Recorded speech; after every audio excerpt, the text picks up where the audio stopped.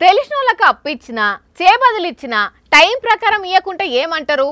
ఏం సంగతి? గా పైసలు చూడకపోతివి అంటారు. వాళ్ళు ఒకవేళ టైం పెడితే మళ్ళొచ్చి అదే టయానికి అడుగుతారు. రెండు మూడు సార్లు మంచి మాటతో అయిపోయినాక కోపం మీద చిన్నగా పంచాలకి దిగుతారు.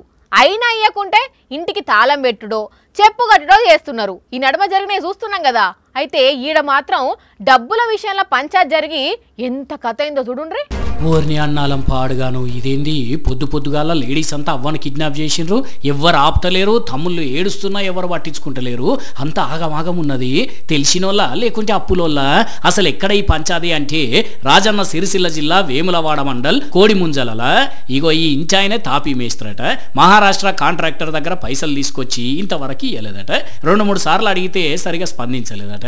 ఇక ఇంత పనికి వచ్చినవా అని ఆ కాంట్రాక్టర్ గాడు మేస్త్రి వాళ్ళ అమ్మని ఇట్లా కిడ్నాప్ చేయించుకొని తీసుకొని పోయిండు. చెప్పక్క అసలు మీరు ఎన్ని పైసలు ఇవ్వాలి ఎందుకు కిడ్నాప్ చేసిండ్రు? ఏమో సార్ మాకు తెలియదు ఎన్ని డబ్బులు ఇచ్చిరి మాకు ఈ విషయం అస్సలు తెలియదు. మా ఆయన వస్తే మా ఆయన చెప్తే మాకు తెలుస్తుంది అన్ని అదట అసలు ముచ్చట. కొడుకు చేసిన పనికి తల్లిని కిడ్నాప్ చేసిండ్రు. అయినా కోడి ముంజ ఊరోళ్ళు ఇదేనా పద్ధతి. మీ ఊరామెను కిడ్నాప్ చేసి తీసుకుపోతుంటే కనీసం ఆ పని కూడా ఆపలేదు. బర్సేసుకొని మంచిగా చూస్తున్నారు. పోలీస్ సార్లు మీరు కూడా రాష్ట్రం దాటకుండా చూడాలి కదా సార్లు.